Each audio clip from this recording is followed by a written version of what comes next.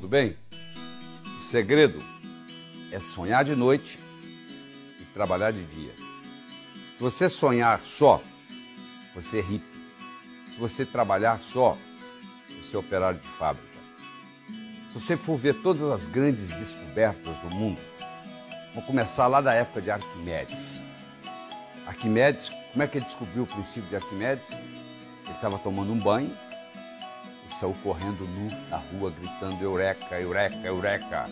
Achei, achei, achei. Porque ele estava num momento de relaxamento, ele teve uma inspiração, ele saiu correndo e foi implementar a sua inspiração.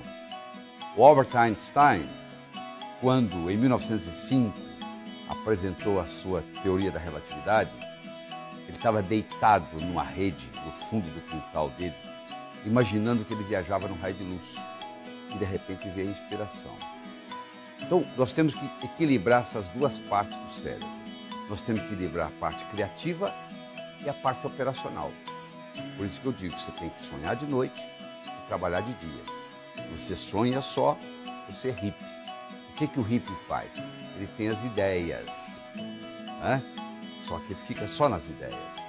E o que, que o operário de fábrica faz? Ele tem o operacional, ele fica só na operação.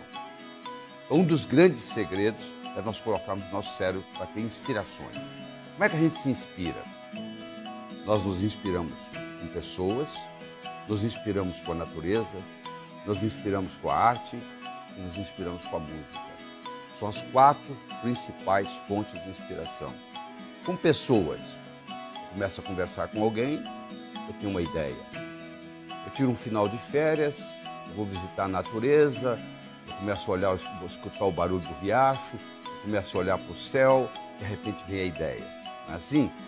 Eu começo a escutar uma música diferente, uma música que eu gosto, eu vou numa peça teatral, quer dizer, a arte, a música, a natureza e principalmente as pessoas são as nossas quatro principais fontes de inspiração.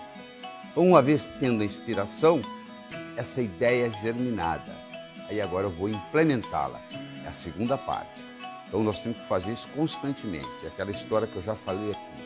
É o passarinho que não voa com a asa só. O passarinho precisa de duas asas. Uma para ter a ideia e outra para implementar a ideia. É isso que está aí. Por enquanto, por hoje. Vem? Até a próxima.